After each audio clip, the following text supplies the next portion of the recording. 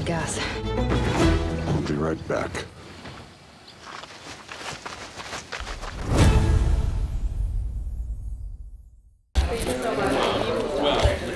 I uh, start off, I guess. All right, hey, how you guys doing this morning? Good, yeah. Hey, um, just give me, uh, you know, uh, just tell us well, who your characters are and uh, who you are, I guess, on the show. Uh, I play Sticky. Um, I'm Seth Carr. Uh, Sticky's a little bit of a. He's kind of curious as a character himself. He's uh, more reserved, but uh, throughout the season he comes he comes full circle when you can see his confidence show. Okay. I play. I'm Emmy. Uh, Emmy. I'm Emmy DeOliveira. I play Kate. So she's um, she's sort of more the adventurous type. She's kind of like the. I think she's kind of like the muscle of the group, Yeah. which is fitting because I'm really strong. Just knocking everybody over.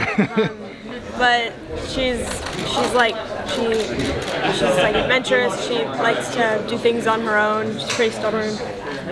She's she's really cool. Came from she uh, ran away to the circus when she was a kid. So so you're super acrobatic now. yeah.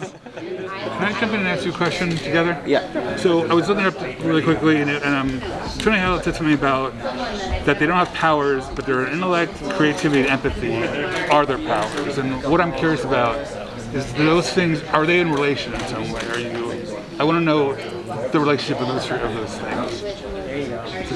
You know. So it talks about creativity, empathy, and intellect. And so I'm curious about how those are the three main ideas in it. How do those work together? Well, It's a, it's a weird and a big There, question. those like empathy and like intellect and stuff sort of is the character superpowers. So I think that's like when people are like they they're they're special they have superpowers. It's it's they talk about how the characters are like really empathetic or um, they can do like different types of things. Like you can. Uh, yeah. remember, like I can remember, like Sticky's character is really smart, so he can remember a lot of the things that uh, come up to him. Like when there's like hard questions, like that's that that's where Sticky comes into play. Or like when we need somebody to lead, or like brave, or somebody to do it that way. Like that's when um, Reynie comes in. his like thing is sort of I think I think it's like yours is like empathy. So the characters are those things more than anything else. Yeah. Okay, interesting. It's like yours is like intellect, and then I think Reynie's thing is like e- like sort of like empathy, like s like maybe like more of like a social smartness, I guess. I don't know. So Thank you so much. really is, you know, such a loyal friend, but albeit a reluctant hero, Um, what's that like for you to portray it? And do you wish you had Sticky's eidetic memory? Um, yes, I feel like uh, having Sticky's uh, memory would come into play, like trying to memorize scripts. uh, there has been a lot of late nights, but um, yeah, I feel like uh, Sticky's memory really, uh, really would be cool to have. And uh, playing Sticky, you know, when I first first got the role, when I first started like memorizing lines and reading the first book and everything like that, I got more of an understanding. But as the second season, it's it's a little bit easier to portray because I had the first season to base off of. And know, Kate, Kate's the Swiss Army knife, let's be honest. At the end of the day, you are the Swiss Army knife because of luck. Bad luck. Is the bucket bottomless?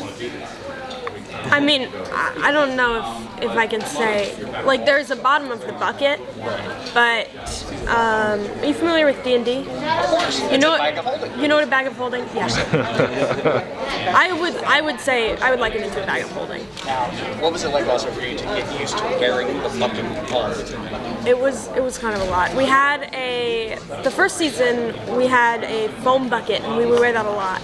And that would be so it's like it looks just like a normal bucket, but it's it was made out of foam and it was like so if I had to like run or do something like that, it, I didn't have like the heavy the metal bucket like in my leg. But it was it was a bit of an adjustment. This season, the second season, we didn't use the foam bucket very much. I think it, honestly I, I just like the metal one better. It's um, you know sentimental. It's a lot to carry. Yeah. My earrings? Thank you. Were you guys familiar with uh, familiar with the book before you got the role? Did you, after you got cast, did you decide to read it, or did the producers tell you, you know, what, stay away from the books, let's stick to the scripts? Um, I was I, I had never I had never read the books before. I'm sure that I had heard of them. When we got the script and we got everything, um, I had started reading the first book. We weren't like told directly not to read it, but um, I didn't finish it when we, because I, I read like half of it. Then we got the scripts and I wanted to just focus more on the show. Yeah, for me, I knew what it was before, like the books and everything. Um, but yeah, I after I got the role, then I read the first book. Uh, but yeah, after after that, says because the show it, it kind of goes off goes off in the book. So when you're trying to portray that character, it can be hard reading the book and like reading the script and trying to like match those together. So. You don't want to get in your head. About it. yeah. building on that, well, I mean, one of the things that fans really liked about the first season was it did, it was really true to the book. Um, and I mean, just hearing from what you guys are saying now, was there a pressure back to season two to continue that, or it was just, you know, you had creative freedom? With? I would say definitely pressured because you know from the first season and how good it was, we obviously do want to have that same level. Uh, but yeah, there I feel like there is a little bit of pressure when it comes to like uh, making a new season, having it be just as good or even better. Uh, not only for the actors, but the producers, the writers, like the cast, like everybody. You know what I mean? Okay, take We have, sorry, we have about two more minutes left. All right, why? Before you take just photos while you're before you- talking? Yeah. Before you jump into that, uh, just talking strictly season one, was it a favorite mo- moment for your characters that you guys remember that just stands out for you? For me, I would have to say when I was in the Whisper uh, with Curtain, that was, that was cool. The whole set was cool in the scenes. Yeah. Oh, it's got to be one of the stunts. I, I can't. I, I can't like remember which one, but I love doing stunts. I loved all the stunts. Um, we had so many good ones in the first season. We have a really good one. That this is my character. This is all four of us. We did a really good stunt um, this season, right? Like sort of in the beginning. It's in the trailer, so I can talk about it. Okay. But um, it's it's not even really a stunt in the show, but we were on a harness. It was when we were all holding on to like the rope in the trailer, you can see, um, and we were all just like on harnesses, like right next to each other. Yeah, it's And pretty funny. It was just like hanging there, like bumping into each other. It was funny. it's just a normal day for you guys, Yeah, right?